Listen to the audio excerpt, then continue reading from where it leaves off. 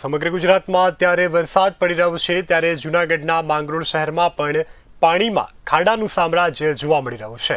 જેને કારણે લોકોને અનેક મુશ્કેલી વેઠવાનો વાર આવ્યો છે, તો લોકો પણ હવે હેરાન પરેશાન થઈ ચૂક્યા છે. કમર તોડી નાખે એવા મસ્ત મોટા ખાડાઓ રસ્તા પર જોવા મળી રહ્યા છે, તો માંગરોળમાં સામાન્ય વરસાદથી જ રસ્તાઓ બિસ્માર બન્યા છે. નગરપાલિકાની ઘોર બેદરકારી છે.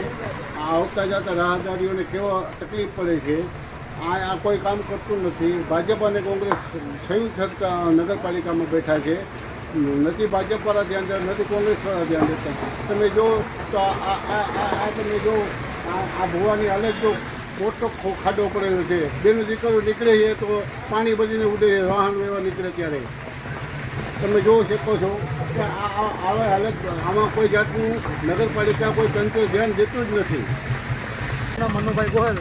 અને અમે ગામડેથી આવીએ, અહીંયા માંગરોળની અંદર આ ટાવર ચોકની અંદર આમ જનતા માટે બહુ જ તકલીફરૂપ ખાડો છે.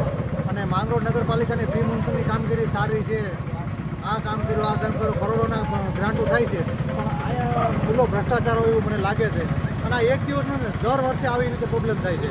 અહીંયા વિદ્યાર્થીઓ આવે, આમ જનતા આવે, બધાના પબ્લિકને હાલીને જાય છે. અને અહીંથી નીકળ્યા પછી પગમાં એવી તકલીફ થાય છે ખંજવાળ ઉપડે.